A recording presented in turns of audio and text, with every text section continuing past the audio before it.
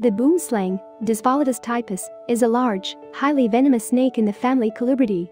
The boomslang is endemic to sub-Saharan Africa. It is found in South Africa, Eswatini Mozambique, Botswana, Namibia, and north through sub-Sahara Africa. The average adult boomslang is 100-160 centimeters in total length. Some exceed 183 centimeters. The eyes are exceptionally large, and the head has a characteristic egg-like shape.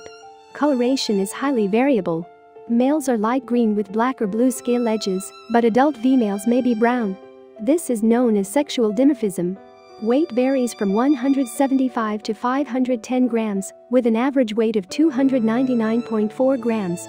In this species, the head is distinct from the neck, and the canthus rostralis is distinct. The pupil of the very large eye is round. The boomslang has excellent eyesight and often moves its head from side to side to get a better view of objects directly in front. The maxillary teeth are small anteriorly, 7 or 8 in number, followed by three very large grooved fangs situated below each eye. The mandibular teeth are subequal. The body is slightly compressed. The dorsal scales are very narrow, oblique, strongly keeled, with apical pits, arranged in 19 or 21 rows. The tail is long, and the subcaudal scales are paired.